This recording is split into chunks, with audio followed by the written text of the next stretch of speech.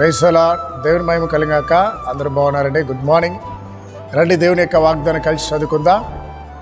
సామెతలు ఇరవై తొమ్మిదో అధ్యాయము ఇరవై ఐదో వచ్చినము యహోయందు నమ్మకించువారు సురక్షితంగా నివసించరు.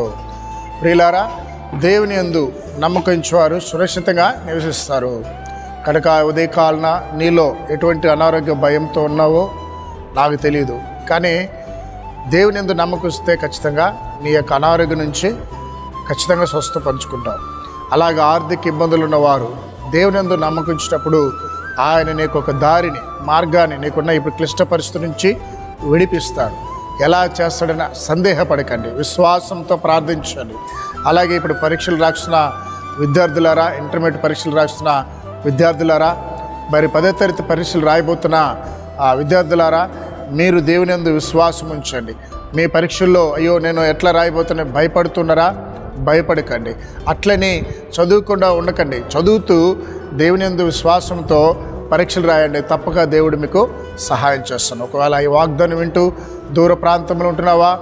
ఎన్నో కష్టాల్లో ఎన్నో ఇబ్బందుల్లో ఒంటరితనంలో బాధల్లో ఇరుకులో ఉన్నావా? ఈరోజు దేవుడు నీతో మాట్లాడుతున్నాడు తల్లి. ఈరోజు నీతో మాట్లాడుతున్నాడు అన్నయ్య. నా ఏసయందు నువ్వు నమ్మకొచ్చినప్పుడు తప్పక నేను ఆయన రక్షిస్తాడు.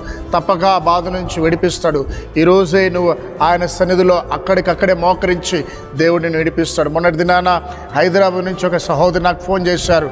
తన భర్త అనేక సంవత్సరాల నుంచి దురాత్మ శక్తి ద్వారా పీడించబడుతున్నారని ఆ వా ఈ వాగ్దానాన్ని విని నాకు ఫోన్ చేసినప్పుడు వాళ్ళ కొరకు ప్రార్థన చేసినప్పుడు దేవుడు అద్భుతంగా వాళ్ళని విడిపించాడు. ఆ రోజు ఆమె అంటున్నది అయా చాలా నెమ్మదిగా ఉంది నాకు చాలా సంతోషంగా ఉంది.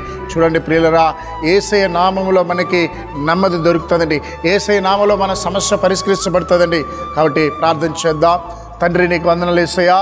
ఈ వాగ్దానం విన్న బిడ్డలందరి జీవితాల్లో కార్యం జరిగించండి. ఎవరు ఏ కష్టాల్లో ఉన్నారో ఏ బాధల్లో ఉన్నారో ఏ కన్నీటిలో ఉన్నారో ఇప్పుడే వారిని సంపూర్ణంగా బాగు చేయమని ప్రార్థిస్తున్నాను ముఖ్యంగా తండ్రి ఈ యొక్క ఇంటర్మీడియట్ పరీక్షలు రాస్తున్న బిడ్డలకి మీరు తోడున్న ప్రభా మంచి ఆరోగ్యాన్ని ఇచ్చి వాళ్ళకి జ్ఞానం దయచండి.